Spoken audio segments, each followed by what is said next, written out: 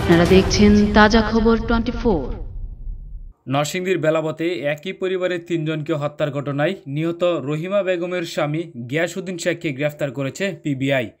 রোববার বাইশ মে সকালে বেলাবো উপজেলার পাটুলি ইউনিয়নের বাবলা গ্রামের নিজ বাড়িতে এ ঘটনা ঘটার পর দুপুরে তাকে গ্রেফতার করা হয়।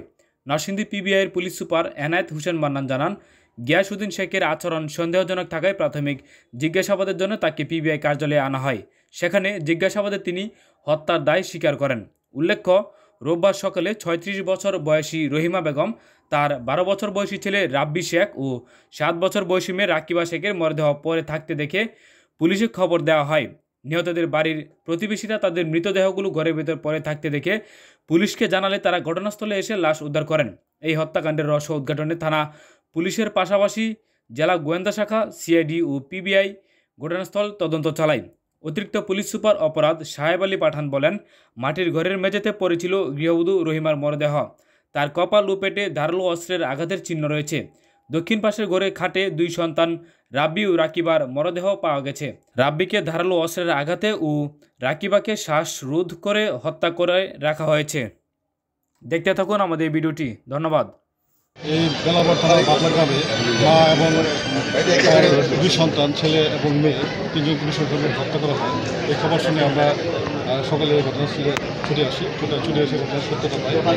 আমরা এই বিষয়টা তদন্ত করছি। এখনই একজাক্টলি বলা যাবে না যে তারা ঘটিয়েছে, কেন ঘটিয়েছে বাট এই জিনিসটা আমরা তদন্ত করছি। আমরা আশা করছি খুব শীঘ্রই কারা এই ঘটনা ঘটিয়েছে, কী কারণে ঘটিয়েছে, এটা সব উদ্বোধন করতে পারে।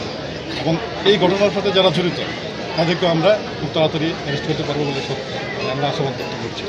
এটা একটা সেন্সিটিভ ইস্যু যেহেতু ট্রিপল মার্ডার হয়েছে, এটা আমরা এই বিষয়ে এখন কিছু বলতে চাচ্ছি না, তবে আমরা তাদের আশ্বস্ত করছি যে আমরা খুব শীঘ্রই এ বিষয়ে আপনারা জানাব। ভিতরে দুটি গ্যাস গ্যাস সিলিন্ডারের ঘর, একটি করে গ্যাস সিলিন্ডারের দুই সন্তান, এক ছেলে এবং মেয়ে আরেক করে গ্যাস সিলিন্ডারের বয়সের লাশ পাওয়া যায়। আমরা যেটা দেখেছি যে তিনজনই শরীরে আঘাতের চিহ্ন আছে ধারালো অস্ত্রের আঘাত আছে এবং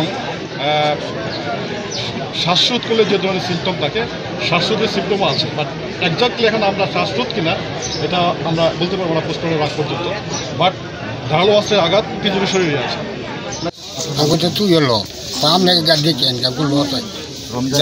lo ke ha ga yi di yo ta mara.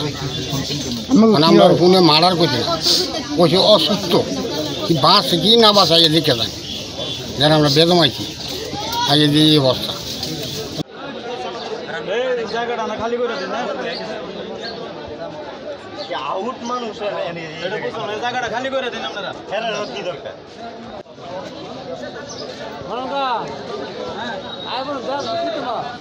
না যা